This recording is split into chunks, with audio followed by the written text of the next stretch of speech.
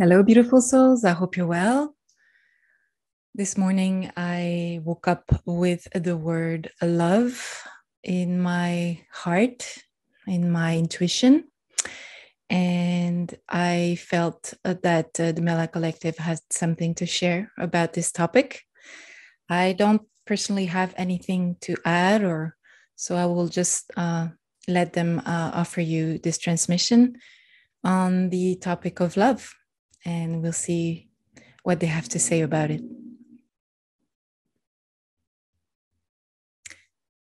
You don't know what love is until you have experienced it in your heart, in your soul, in every part of your being.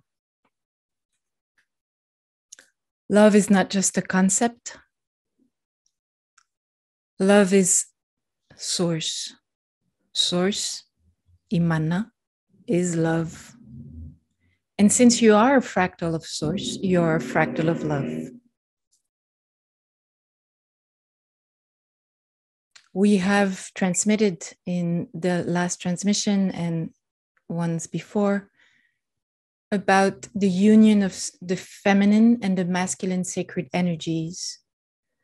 And we want to emphasize the fact that in this reunion, in this alchemical union that heals and that offers, um, transcends ancient hurts and pains and really offers healing and um, higher state of consciousness. What binds these energies is love.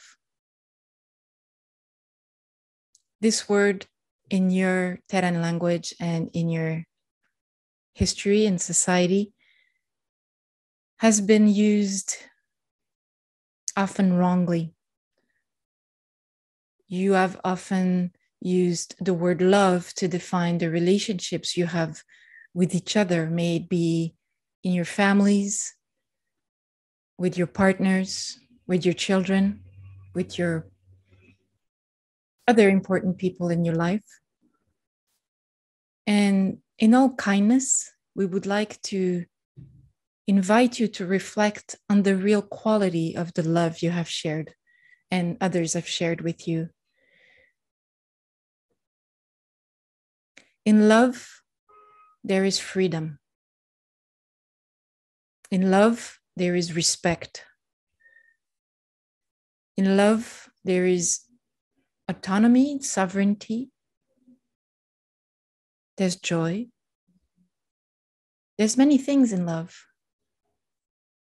But what you have called love very often was perhaps not the highest form of love that Imana invites us to incarnate as fractals of her, as fractals of Source. Love transcends all barriers and it is beyond attachment, it, it is beyond dependency, it is beyond fear, which is its opposite. We simply invite you to, in all consciousness, to reflect and to observe the ways in which you incarnate what you call love. Observe if you find any addiction, any dependence, any lack of autonomy there. We realize that unconditional love is something extremely difficult to anchor and incarnate in your 3D life. And it is almost like perfection in your density. It is what we could say a destination. The importance is the journey. And we invite you to explore and to journey unconditional love. This journey will take you inevitably into raising your vibration and your consciousness to four and fifth density. And it will create with the people you interact with. A beautiful link of the heart, which is not bound by dependence.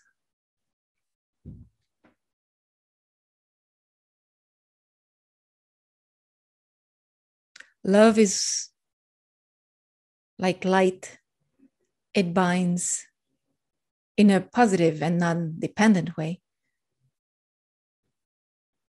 everything in the universe.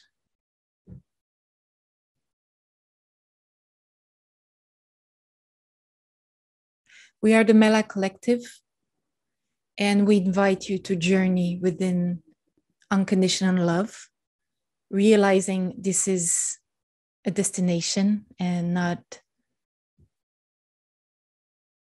something you should worry about getting to. This is something you experience in your everyday journey and every moment of gratitude, of joy, of respect, of love, of may it be in the physical love, in the love of the heart, may it be from far away or close, because when it comes to love, distance is has no meaning. So, the love you have for your galactic family, for example, or your twin flame that might be incarnated or not, is something that you can, this link can be amplified by the power of your heart and the power of the love that resides in it. But this goes also, of course, for all beings around you. As we have previously said about light, the same thing applies with love. We don't encourage you to send directly love and light to beings that are of a regressive nature because they do not want it, they are not ready for it, and they will target you in return. You just let them be. You, from your heart, from your center, you profoundly radiate that love and you expand it extremely in a large, very large, and non targeted way around you and those who need it, those who are receptive to it, will receive it without any problem. Those who are receptive to that love, who are not regressive energies, can be sent love and light directly if they wish so.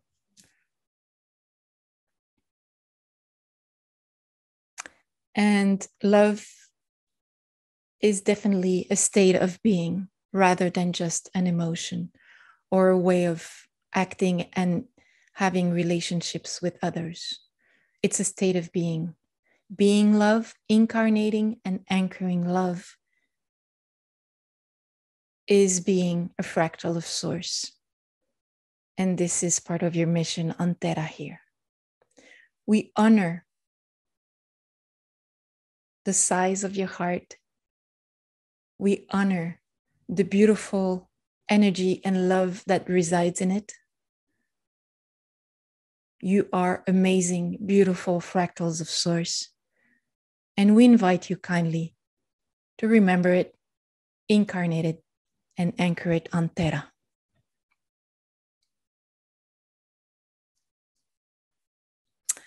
Okay, so I think that was their message for today. I personally don't have anything to add to this. I will let you with these, uh, let you go with these words, and hope you can find within you uh, the resonating love they were transmitting, not only through their words, but through the energies. And that their invitation to explore that journey of incarnated love is something that you resonate with. I wish you a beautiful day. Take great care of yourself and raise your vibration. Bye.